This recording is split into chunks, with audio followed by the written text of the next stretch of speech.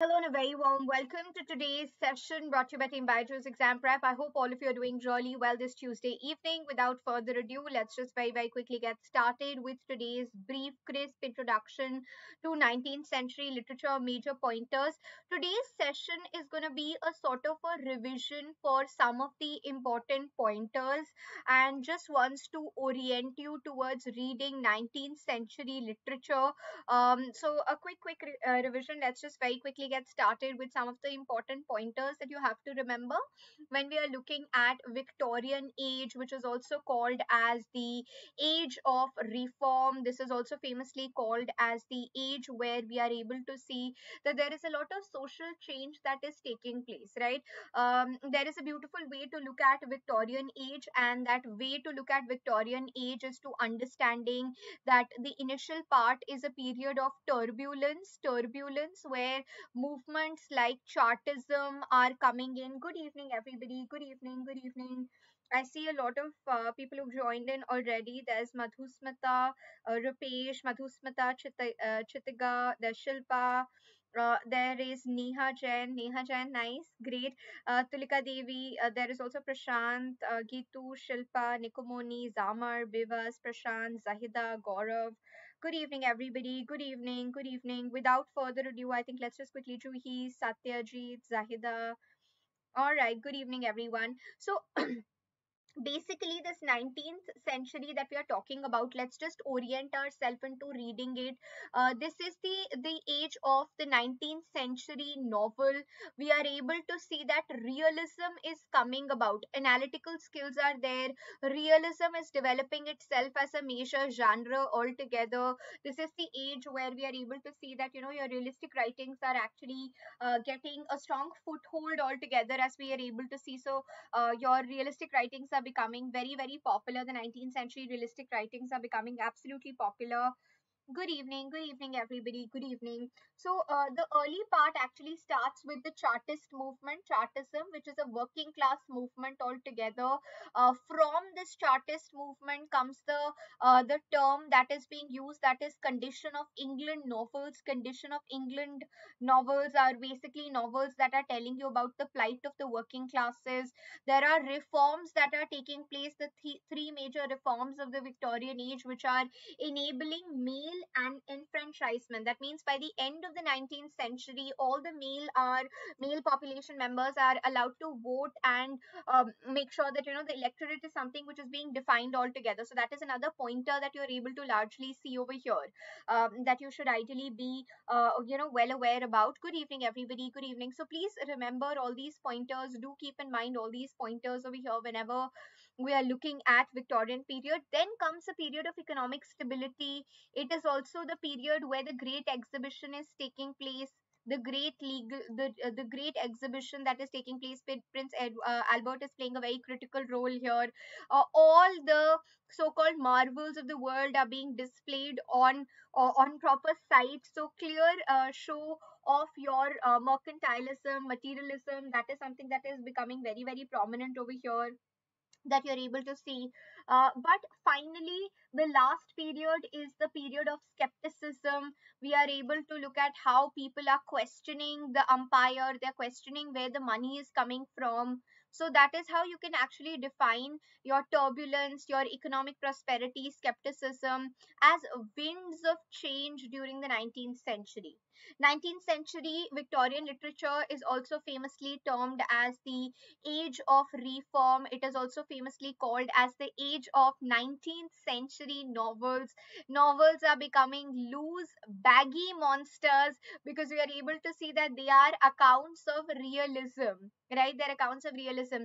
So, 19th century, you don't just get questions that are coming on Victorian British literature, you also get questions on 19th century Russian writing writings. You're getting a lot of questions coming from 19th century American literature, a lot of questions from other European writers who are writing during the 19th century, Indian writings also.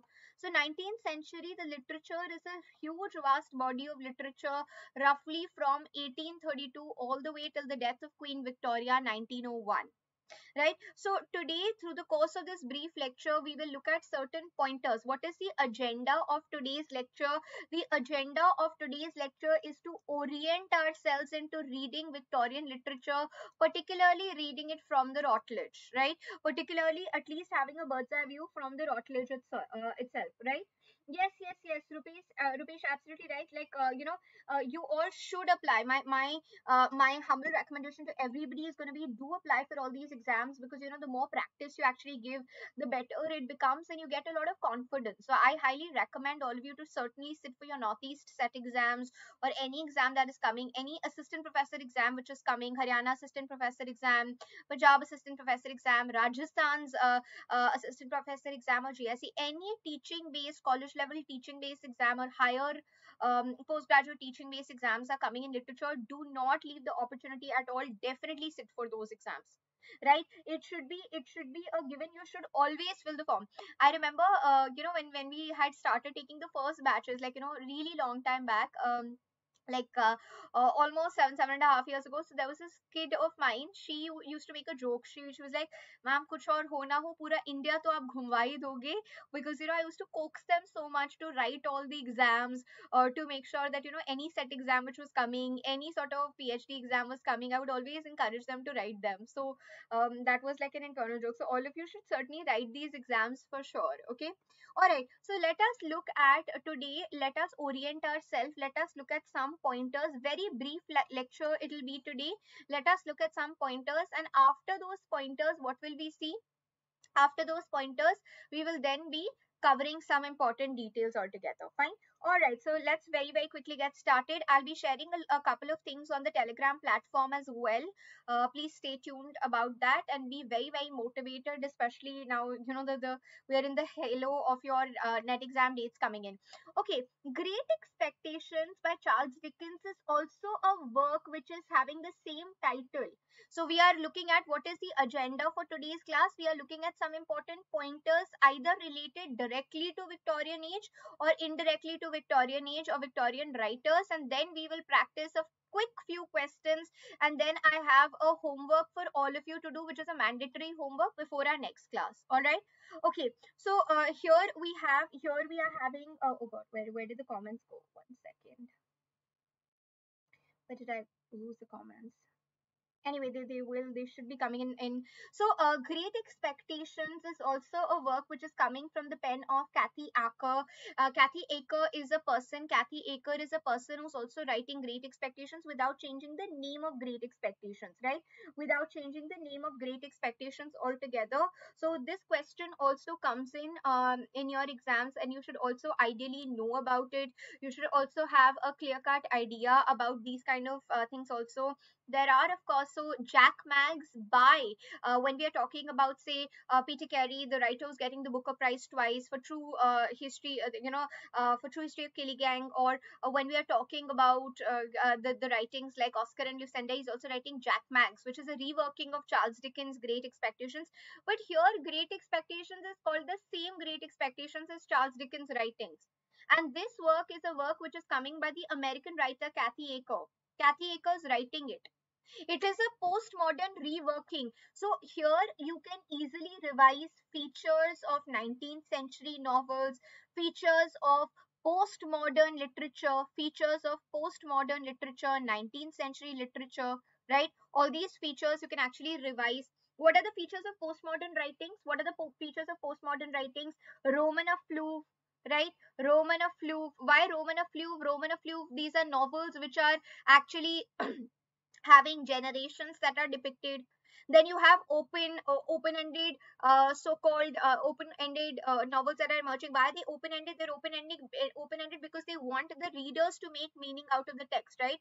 They're wanting the readers to actually make meaning out of the text that they're reading. So there are very open-ended readings that we are all able to see all together right? Open-ended readings are coming across so that also becomes uh, important for our understanding for our evaluation altogether. So you should revise the features also of uh, you know postmodern writing certain examples. This is how you review the topics altogether right? Uh, if if unless and until you wouldn't be doing that if if uh, you will perhaps not do that then things become a little more uh, troublesome problematic and then you'll not be able to revise it uh, at the very last minute so certain features of postmodern writing, certain features related to postmodern literature, they have to be on your fingertips for sure. You need to definitely uh, mull over. You you need to certainly look at you know the, the English novel, the English poetic tradition in the postmodern period.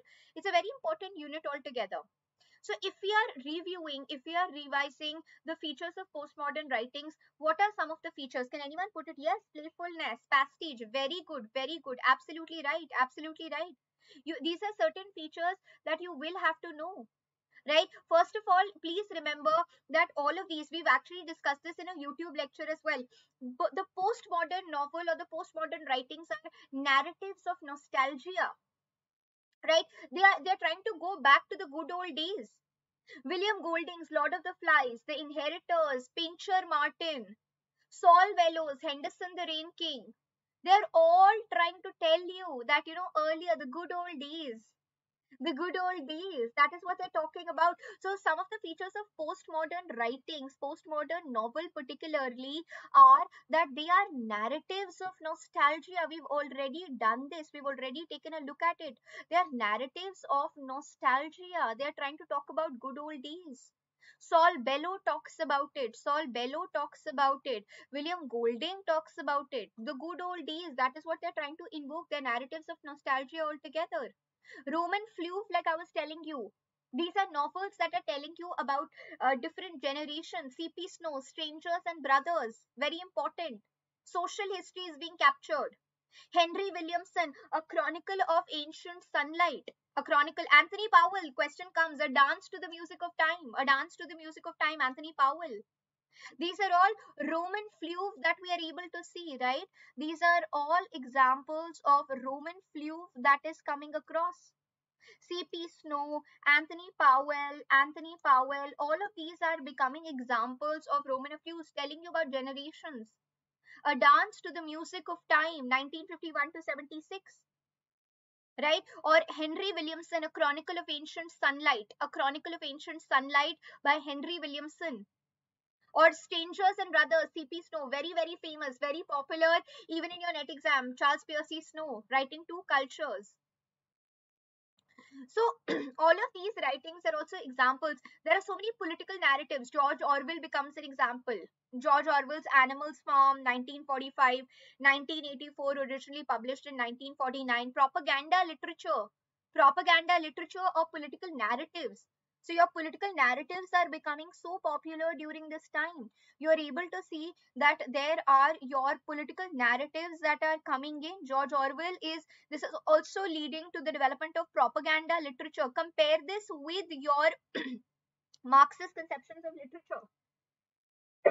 I'm so sorry. Compare it with Marxist ideology or Marxist uh, ideas or notions of literature altogether. You can actually do that, right? So here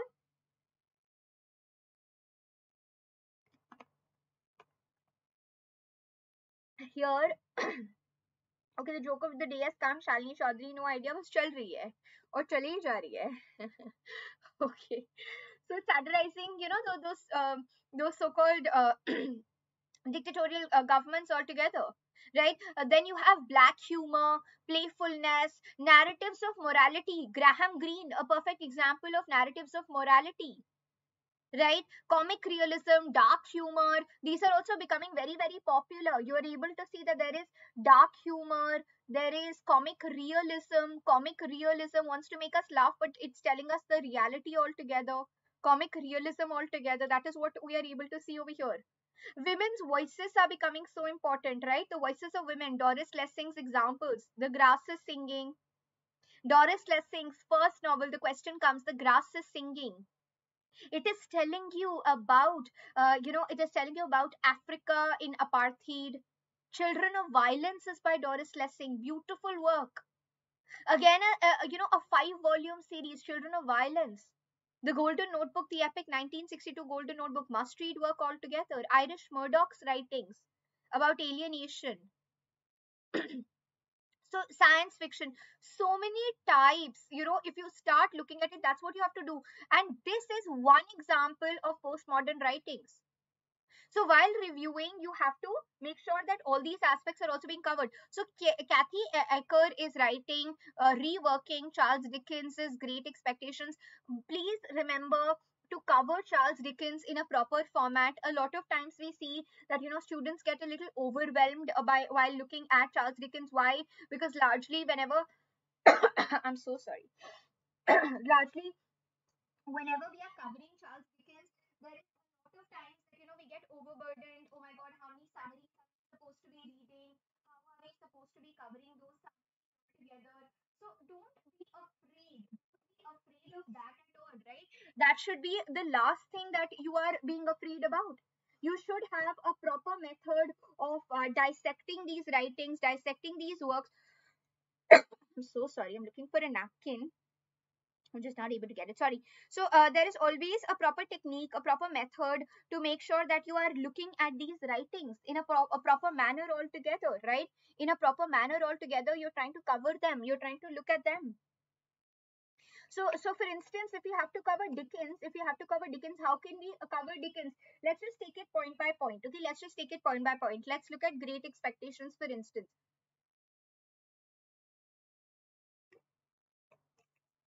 sorry so how we are able to see it as an example of a bildungsroman. It is telling us a story of pip right? Great expectations is covering the story of pip. It's a novel which is telling you it's a kind of a bildungsroman. Bildungsroman are novels which are telling you the growth of the central protagonist right? There is a clear cut growth of the central protagonist that we are able to see right? He's staying with his sister. He's staying with his uh, sister's husband joey very important character. You know how you're able to see that his life changes altogether when he meets when he's meeting his estranged uncle. So how the wealth is coming the wealth is not coming by hard work the wealth is coming by change of fortune. Great expectations the development. Then all these all these works all these works are very very great. Expectations is of course important. Uh, bleak house you get questions. So you can make a table also Bleak House, what all questions are usually asked from Bleak House? At least cover them from Oxford Companion, these writings for your exams right? Great expectations bleak house. Bleak house what are you able to see? Uh, it is one of the only novels which has a female narrator. Who's the female narrator?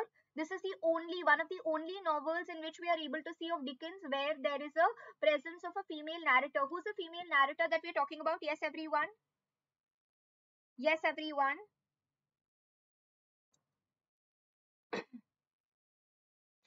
yes, yes, yes.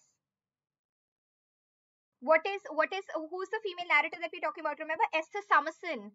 Esther Summerson. By now, all these things should start getting on your fingertips. Esther Summerson, right? Esther Summerson is the female narrator that we are having, and this is trying to attack the legal system. It is a satire on the legal system it is a satire on the legal system, the Jarndyce and Jarndyce case, which is being held in the Chancery.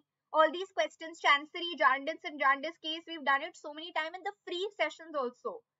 Right? So so how there is a female narrator who's coming in it is an attack on the legal system the case of Jarndyce and Jarndyce is there and we are also in a position to see that this is predominantly a work where the chancery episode is also coming in right similarly hard times where is the setting of hard times coketown hard times what is the setting of hard times hard times is a work which is set in coketown even people who are studying and preparing for their pgt exams you have to cover charles dickens properly Coketown is a setting. What is Coketown? It's a northern industrial city. It is a northern industrial city. Even Elizabeth Gaskell talks about it. Manchester, she's talking about it.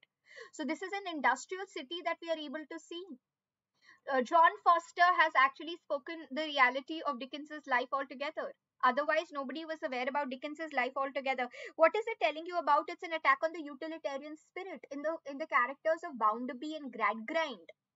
And Sissy Jupe is the only hope that we are able to see in this particular work. Thomas Gradgrind, Josiah Bound Bounderby, they are all, they're both being attacked, sowing, winnowing, and reaping, garnering. So, sowing, garnering. So, how we're able to see that the work is divided into three parts altogether right so that is something tale of two cities london and paris set in the backdrop of the french revolution taken from inspiration from carlyle's writings all those things become important uh, the posthumous papers of pickwick club the posthumous papers of pickwick club why is this important we are able to see because it has the uh, you know the, the, the caricatures of posthumous papers of pickwick club was coming from robert seymour robert seymour was the caricaturer Robert Seymour is the caricaturer. R.D. Trivedi also has this line, right?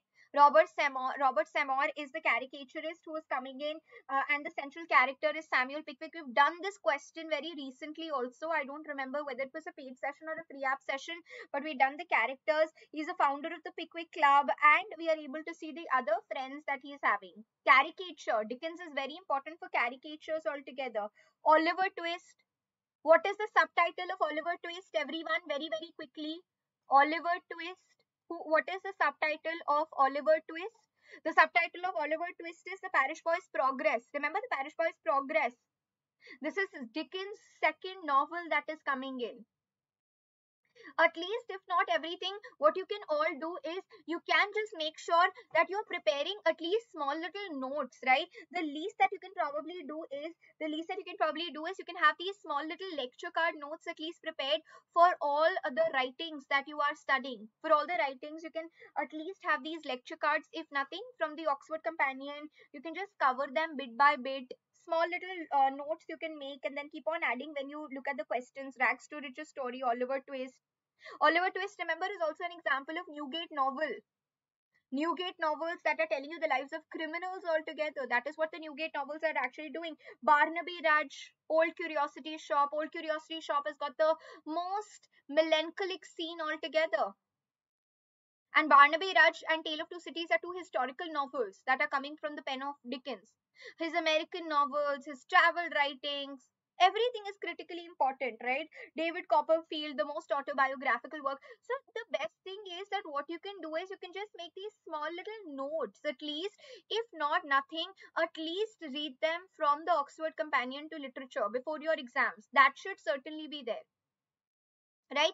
Okay then of course uh, you know all these stories on the 19th century gothic writings 19th century gothic writings 19th century female centric writings female centric writings anna karenina right? Madame bovary Flaubert, madame bovary everything is becoming important. 19th century is a is a potpourri of sorts right? It's a potpourri of sorts. So many characters are coming in right?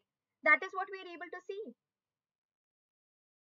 Yes, yes, Shalini, absolutely right. So, uh, all these, uh, you know, aspects become important. We are able to see that Bram, Stoker's novella, uh, novel Dracula, it is actually inspired from this real life character, Vlad Impaler. This question comes directly in your exams.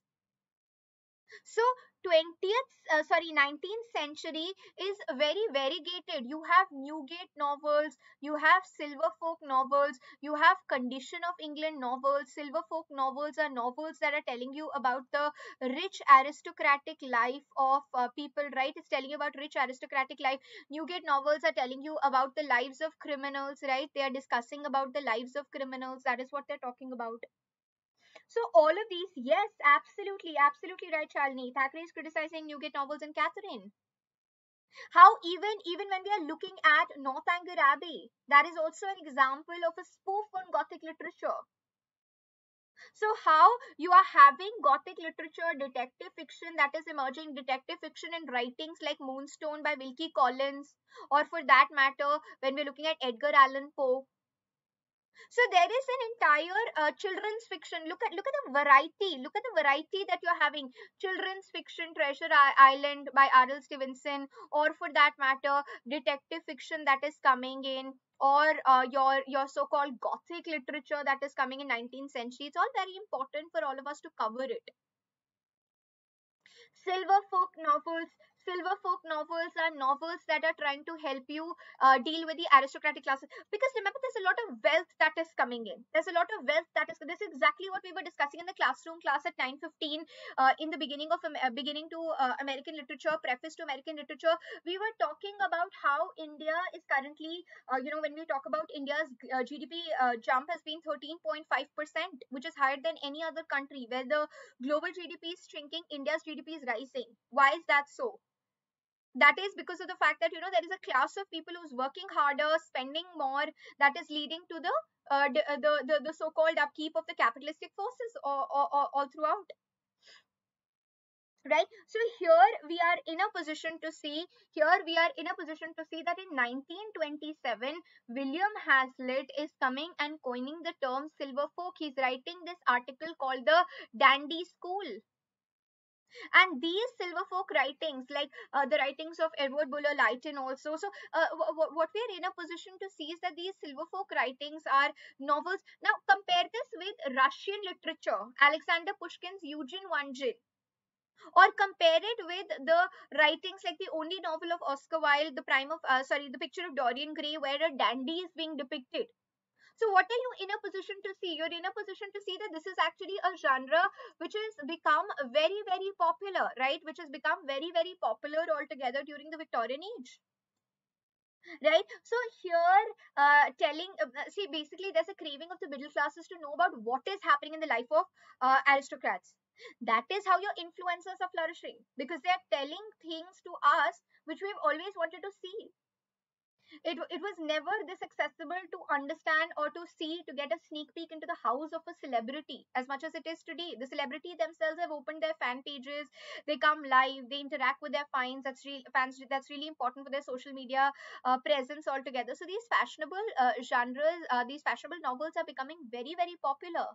Famously called as the silver fork novels. Right? So extremely popular firm which is trying to feed to the curiosity of the middle classes the middle classes wanted to know what is happening in the lives. There's so many uh, you know there's so much uh, research which has been done over here how it tells us about culture cultural practices our uh, our understanding you know our need to look at the lives of the uh, the aristocrats altogether right? So silver fork the victorian hazlitt is coining it in the dandy school right? And hazlitt particularly was uh, trying to you know hazlitt was deriding the term right? He was saying that these are these are novels that that are not really complete or you know they're, they're just very very hollow altogether so that is another thing that we are able to look at. So please remember this that you know bulwer lytton's writings or other writings that were coming in clearly they were all a part of your uh, your silver fork tradition that we were able to see. Uh, uh, bulwer lytton's pelham or the adventures of a gentleman. You can write this down. Pelham is a brilliant example. Pelham is becoming a brilliant brilliant example. Pelham or the life of a gentleman by uh, bulwer lytton bulwer lytton bulwer lytton is writing this particular work altogether. So Bulwer Lytton's work Pelham or The Adventures of a Gentleman 1828 became very important. It set the formula for silver fork writings altogether. That is what you're able to see, the dandy literature as it was called. Exclusive literature telling us about the aristocratic classes and tonalities altogether. That is, of course, important. Uh, then, of course, a lot of your French writings, a lot of your Russian literature, Stendhal's. So, even when you start reading Routledge, Routledge talks about how Benjamin Disraeli as well as Stendhal are trying to talk about these two cultures which are there. right? They're trying to talk about these two cultures that are coexisting, these two uh, areas that are coexisting altogether right? So what are we in a position to see? We are in a position to look at how yes rupesh epw yeah. How um uh, you know your french writings women writing so even even when we talk when we're talking about flaubert when we're talking about stendhal french writings or when we're talking about leo tolstoy or we're talking about uh, how russian literature of the 19th century is emerging right so all of these european writings are very important especially which are coming in the 18th uh, uh, uh, which are coming in the 19th century julien sorel uh, you know inspiring looking up to napoleon and his meteoric rise Napoleon was a superstar for everybody. He was a celebrity for everybody. He was a person whom everybody wanted to emulate right? How he is such an ambitious protagonist that we are able to see. Stendhal's uh, uh, Stendhal's entire uh, Stendhal's entire creation, the form of uh, Julien Sorel, is becoming very very important over here, right? So uh, the uh, works like Red and the Black have to be actually studied in proper detail. Why they have to be studied in proper detail? Because these are core pieces of your French writings of 19th century that are trying to depict the French society the salon culture which is there. That is getting that is getting depicted. As it is 1830 is a very important date altogether right? So here these are writings that are coming in. These are writings that are emerging uh, that we have to be more aware about how red and the black is uh, you know uh, writings. There's a there's a contextual story also what led to the development of this work. There's a background story also which is uh, you know there. So Julien Sorel is coming in ambitious working class uh, person very very ambitious. He wants to advance in the society. Via church and what we are able to see over here is that uh, he wants to become better uh, he he's completely completely destroyed by that power that passion altogether to like you know achieve something how you having characters like Marcus the Mole. Um, Marquis de Mole uh, is a person who helps Julien Sorel uh, rise also. Uh, Stendhal's real name, Maria Henry Bell. This question comes in over here right? So uh, red and the black is actually trying to tell us about restoration france restoration france altogether. Very important realistic psychological novel.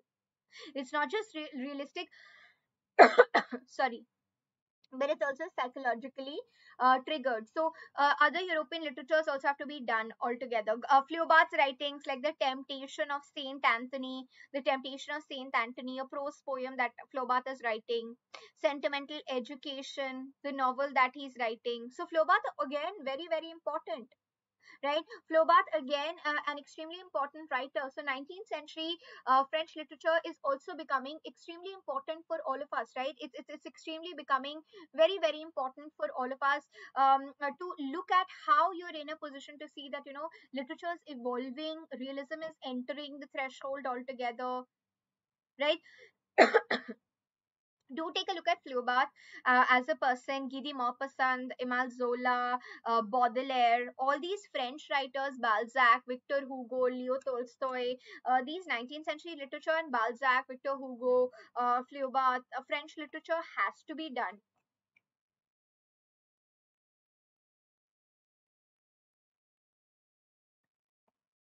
I'm so sorry, I don't know what have I had. My throat is all gone.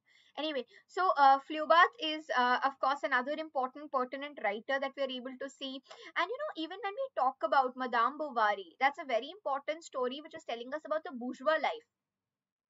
Right? So, the bourgeois life is actually something that is getting depicted over here that is also something which is extremely important for us to cover.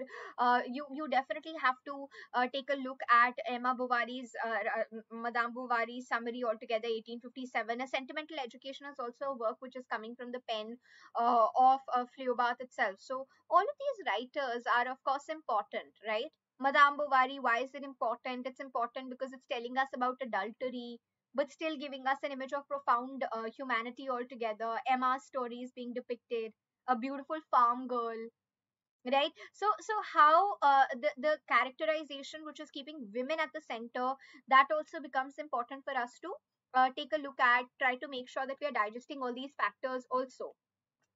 Uh, then of course you know all these uh, uh, questions that keep on coming like jacob marley is the name of the ghost. So dickens uh, uh, dickens thackeray hardy you will have to walter scott 19th century literature 19th century novels. You will have to cover one novel uh, or one novelist per day. That is how you can actually compile all your notes all together just be very organized as well because it's a huge canvas that we are talking about. Give a cursory readings all together as well. Um, so that that also really helps in the long term and the long run also. George gissing lesser known writers like charles kingsley george gissing right? Charles kingsley george gissing they're all important. They're lesser known writers but they're all important. Works like New Grub Street, works like The Odd Woman, Mary. Ma- uh, so so Mary Barton is by Elizabeth Gaskell, which is like a uh, uh, an important uh, writing telling us about the uh, industrialized uh, industrialized work culture as well. But you know, Gissing, Charles Kingsley, Benjamin Disraeli, uh, R.L. Stevenson, or all of these are minor writers who are coming who are not getting as popular as Dickens or Wilkie Collins uh, in the mainstream, and even uh, posterity wise, not getting very popular like George Eliot or the Bronte sisters, but they are very important from your examination perspective. George Meredith, you get questions. Gissing, you get questions. Charles Kingsley, you get questions. Elizabeth Gaskell, you get questions that are coming in. So, uh, even the lesser known writers of the 19th century, their writings, their works, Benjamin Disraeli's Endymion, these are all questions that are constantly being asked as well. Thackeray, of course, has to be covered, especially if you're uh, if you're writing your PGT exams, postgraduate teacher exams. You have Thackeray as a part of your syllabus. Also, uh, there are these questions every now and then that are being asked uh, on on Thackeray, his writings, his works altogether right?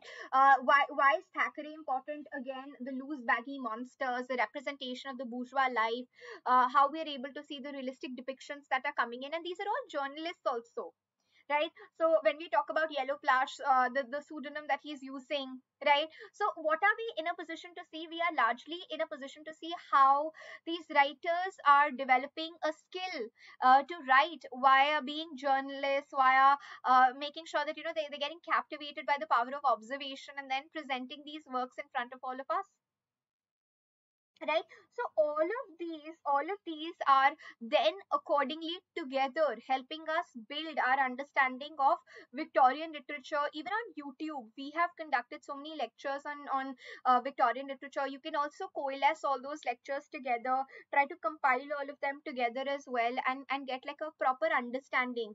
Uh, so you know for instance when we talk about vanity fair a novel without a hero telling us about becky sharp and uh, amelia sedley and both of them are foils to each other, just like Jane Eyre's foil, who's Jane Eyre's foil? Helen Burns. Who's the foil of Jane Eyre? Helen Burns is the foil of Jane Eyre. Similarly, we're able to see that Becky Sharp and Amelia, they're the foils to each other. Foils are contrasting personalities which will make the uh, the features of the central protagonist come across even in a brighter way altogether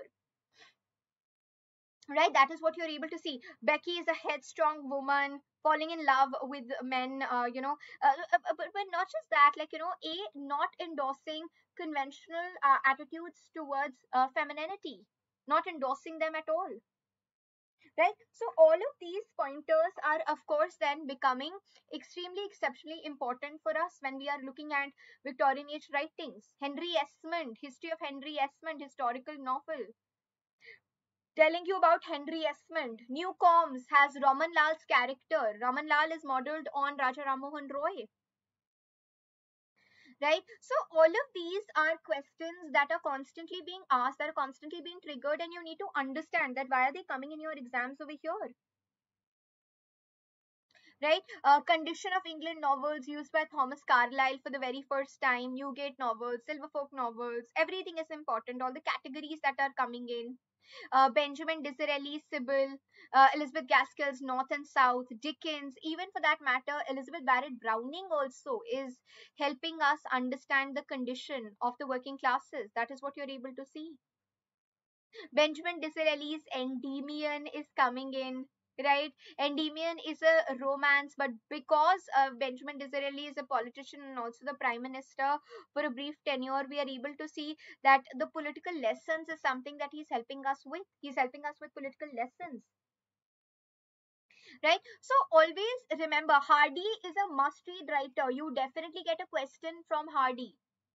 Right? Most of the times uh, you are getting a question from either his novels or from his poetry you are in a position to get these uh, uh, get these questions every now and then.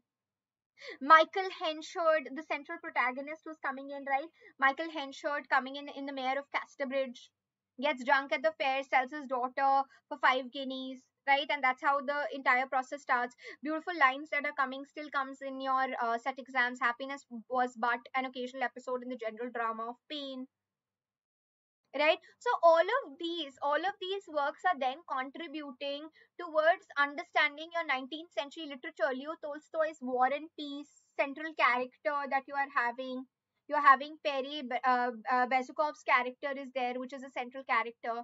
War and Peace, Anna Karenina. Bezukov's character, Be- character is important. Why? Because he's a man who's educated abroad, but very socially awkward and he's very similar to Leo Tolstoy. He's very, very similar to Leo Tolstoy.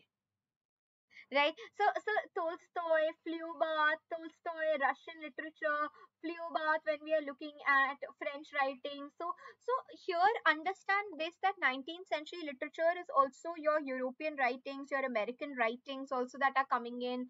American literature, Edgar Allan Poe, Hawthorne, Herman Melville, uh, even for that matter, Walt Whitman. They're all writing during this particular period. Again, a best-selling writer, Wilkie Collins coming in, right, helping us write this all year round. We are, so Wilkie Collins and Dickens were the two very successful writers during their times. During their times, they were very, very successful they were writing at times when they themselves were absolutely very very successful. Let us uh, pause a little and i have a few questions for all of you before we wrap up. Uh, i have a few questions for all of you so i hope you're all ready. Just stretch yourself a little uh, if you are uh, probably feeling sleepy uh, just stretch yourself because here comes the question first question. And tell me in the comment section how many of you getting right. Who wrote a postmodern reworking of charles dickens great expectations without changing the title. Everyone, let's see how many of you are awake.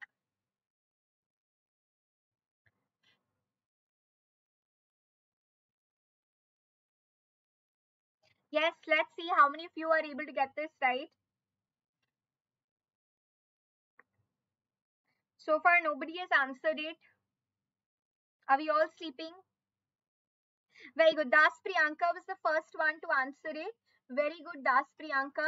Absolutely right. This is the correct answer. Kathy Acker is writing. Then everybody is given the right answer. Very, very good.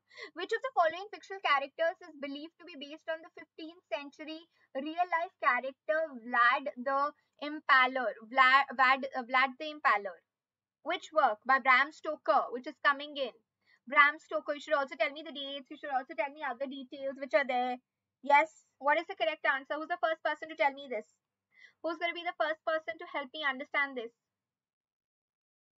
No, no, no, no, no. Yes. Now, what is the correct answer? Okay, that's Priyanka again. Shikha has also answered it. Gaurav, very good. Zahida, absolutely right. Bram Stoker's Count Dracula. Count Dracula, very good, very good. Which of the following terms describe the novel of fashionable life, high life in 19th century? Few questions only we'll do today. Uh, then don't worry about it. Yes, what is the correct answer here, everyone? Yes, yes, yes. What is the correct answer here? Yes, this is the next question now. What is the correct answer here? Very good. Shika's the first one to answer it. Shika's the first one. Silver fork is the right answer. Silver fork is the right answer. And who's coining the term? Who's coining the term silver fork? Silver fork is the term coined by. Who's coining the term? Let's see who's the first one. Who's not sleeping? And which which work? Which work is he coining the term? Who's coining it? Which work is he coining it in? Nobody's answering. oh god. Okay, I've got it. But now tell me the other two questions that I'm asking. Who's coining this term? And William Hazlitt. Shika is the first one to answer that. In which work? In the Dandy School. Very good. Shika was the first one. Very good. Very good. Who's the creator of the character Julien Sorel? Julien Sorel is a character who's created by? Who's creating it? Julien Sorel's character. Julien Sorel's character is created by Yes, everyone. Who's creating the character of Julien Sorel? Okay, that's done. That's done. Now come on to the next question. Move on now.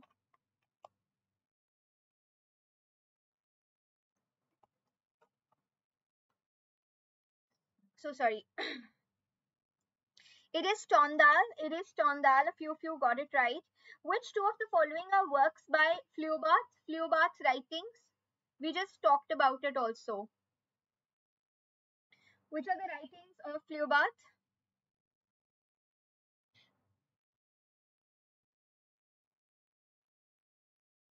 Yes, everyone. What, what are the few Feyerabdian writings? So even if you use the elimination method, you can actually eliminate these, right? You can actually eliminate these, right? So automatically, which are the, the ones? You have to tell me two of them, right? A and D. Yes, very good, Das Priyanka. The Temptation of St. Anthony and Sentimental Education. Who among the following appears as a ghost in Dickens' writings? Appears as a ghost in Dickens' writings. Who's appearing as a ghost? Who's appearing as a ghost? Yes, who's a ghost? Yes, everyone, who's a ghost? Who's appearing as a ghost?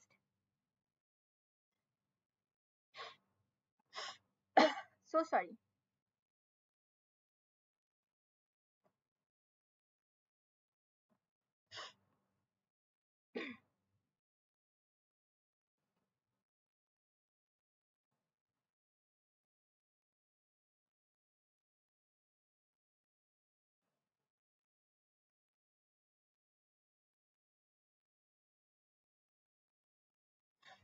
Sorry.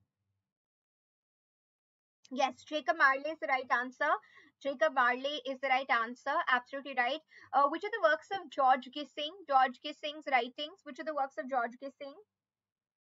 George Gissing, Charles Kingsley, Benjamin Disraeli, Elizabeth Gaskell, all of these, George Meredith, The Egoist, very important. What is it? What is it? Has been dead for seven years. Very good, Shalini. What is the correct answer? Thank you, Manisha. I will, I will. What is the correct answer here, everyone? Yes, yes, yes.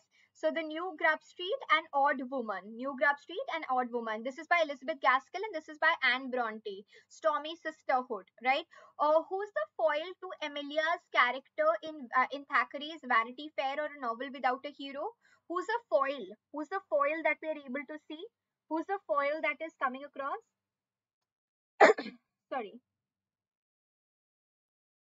Who's the foil in Amelia's Vanity Fair? Uh, sorry, yeah, Amelia's character in Vanity Fair. Yes, everyone. What is the correct answer here? Yes, Becky Sharp, absolutely right. Becky Sharp, right? Becky Sharp, like I said, even if you're not able to cover the summaries, at least go over the Oxford Companion Notes, right? Uh, which is not an example of condition of England novel, term coined by Thomas Carlyle, telling you about the working class uh, condition. Chartism is also a working class movement, very active in the 1840s, right? Very, very active during the 1840s. Yes, everyone. So Sybil, North and South, Dombey and Son, they are all examples of condition of England novels because they're telling you about the plight of the working classes. Dombey and Son telling, of course, about the son fetish. But Vanity Fair is more a bourgeois novel. Vanity Fair is more a bourgeois novel. Uh, the History of Henry Esmond is a work written by, it is a work written by the creator of Vanity Fair. Vanity Fair, where is the title taken from? Bunyan's Pilgrim's Progress. Do remember this as well. It is taken from Bunyan's Pilgrim's Progress, right? So please quickly tell us what is the correct answer here. What is the correct answer here? Thackeray. Thackeray is the correct answer, right? Thackeray is the one. Nobody is given Thackeray as the right answer. There's no D over here. Why are all of you uh, saying D? Who's the central character and the mouthpiece of Tolstoy in War and Peace? Mouthpiece, alter ego. Alter ego. We just did that, right? Bezukov. I hope you all remember Bezukov. Bezukov is the person who's the mouthpiece of Tolstoy. He's, he's literally acting like a sort of a mouthpiece for Leo Tolstoy. Bezukov is the right answer here. I hope everybody is able to uh, get that right, right? Bezukov is coming in and Bezukov is uh, helping us with that please remember this. Because a lot of times you know these are the, the kinds of questions that uh, we usually go wrong with. Uh, yes, please, please remember that. Okay, we'll pause over here. Uh, we'll pause over here and we'll of course continue. Like I said, today's lecture, the primary focus was to make sure that all of you are oriented towards studying 19th century literature. I hope you are clear now. 19th century literature is not just British writings, but other writers also that we have to cover. Do take a tour at least of the concepts that we've looked at. Read entire Routledge cover to cover from uh, for uh, Victorian age. And this is your homework homework also. I want you to read Victorian Age from Routledge and be prepared for a quick test on Thursday. Okay, there's one announcement. Probably we may not have a class on Thursday. It may be rescheduled to Friday at 10:30 or uh, so, so just check your schedule. I'll share it on the Telegram platform also. Either it will be on Thursday itself. If in case it's not on Thursday, then you will have the class positively on Friday. Alright, then you'll have the class positively on Friday. So just check the schedule once. Uh, because rather than you know taking uh, giving the recording i think live is always better at least there's some sort of an interaction that takes place uh, because then recordings just like um, are not really very very helpful. Okay so i hope you're clear with your homework. Please do this homework for sure. I will be taking a quick 25 question one word test on victorian age on thursday or friday whenever we are meeting next. Fine thanks everyone for joining uh, and let's just catch up very very soon thank you so much everyone Thank you. Good night, Kuhu, Tulika, Shikha, Asma, Madhusmita. Uh, thank you, Bache Das, Kriti, Rupesh, Nikumoni, Gitu, Gaurav, Divyani, Neha, Priya. Thank you so much. Thanks, Anamika, Anamika, Juhi. Just going up also, Kosu, Manisha, Pratik. All right. Thanks, everyone. Thanks. Thanks. Good night. Good night. Sweet dreams. Sleep well. All right. Sleep well. Good night, everyone. Sweet dreams